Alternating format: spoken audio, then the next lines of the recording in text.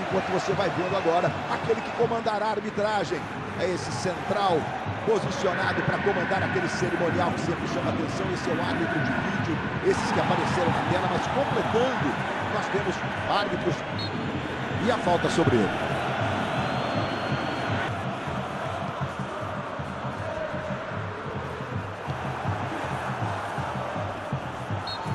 E a falta.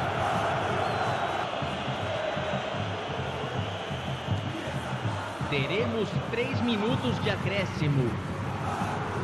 Aí a chegada. Apita!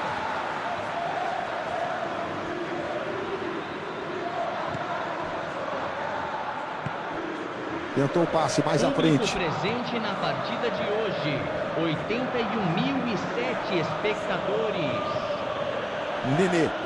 Dominou! Olha a oportunidade aparecendo! Dá um chutão pro ataque. Torcedor não gosta. Recebeu em profundidade. Trabalhando na direita. Mais uma bola longa.